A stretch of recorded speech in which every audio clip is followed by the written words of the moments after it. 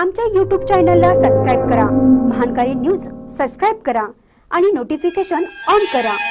Notification on केल्यामुळे आमचे update आपल्यापर्यंत सतत पोहोचेल. महान कार्याचा दणका आणि भीम कायद्याच्या टोल्याने प्रशासन हादरले त्या केबल कंपनीवर एफ आर आय दाखल पन्नास लाखांचा दंड. शिरोळ तालुक्यातील मुख्य रस्त्याच्या दुतर्फा जिओ कंपनीतर्फे केबलसाठी सुरू असलेली खुदाई भीम कायदा संघटनेने बंद पाडली होती. याबाबतचे वृत्त महान कार्य न्यूज चॅनलने प्रसारित करताच प्रशासन हादरले आणि या कंपनीवर एफ आर आय दाखल करण्यात आल्याची माहिती भीम कायदाचे सुनील कुरुंदवाडे यांनी दिली. मी सुनील कुरुंदवाडे भीम कायदा जिल्हाध्यक्ष.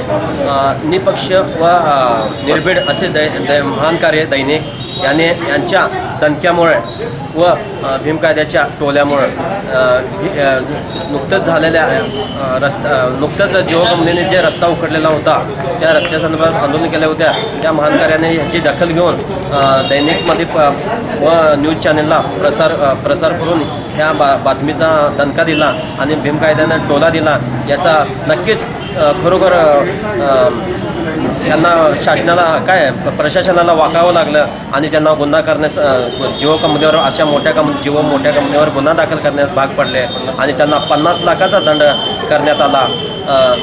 आणि आज आमचं सात तारखेला आज सात तारखेबद्दल जर काय त्यांच्यावर गुन्हा नाही दाखल झाला तर आमचं आठ तारखेला आज बोंबठोक आंदोलन होतं तहसील कार्यालयावर.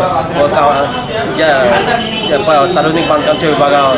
परंतु कालच त्यांच्यावर गुन्हा दाखल झाल्याने आजचं जे आंदोलन होतं ते आम्ही थांबवलेलं आहे.